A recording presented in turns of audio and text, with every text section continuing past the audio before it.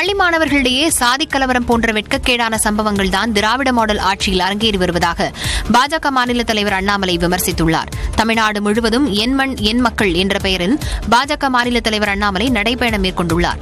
அதன் ஒரு பகுதியாக தூத்துக்குடி மாவட்டம் விளாத்திக்குளத்தில் தொண்டர்களுடன் நடைபயணத்தில் ஈடுபட்டார்.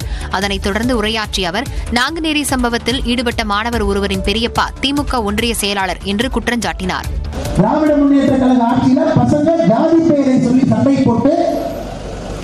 பள்ளிக்கூடத்துல அது நேரடியாக வீட்டிற்கு வந்து பதினெட்டு வயசு கீழே இருக்கக்கூடிய மாணவன் அருவாள் எடுத்துக்கிட்டு வீடு மூந்து வெட்டுறான்.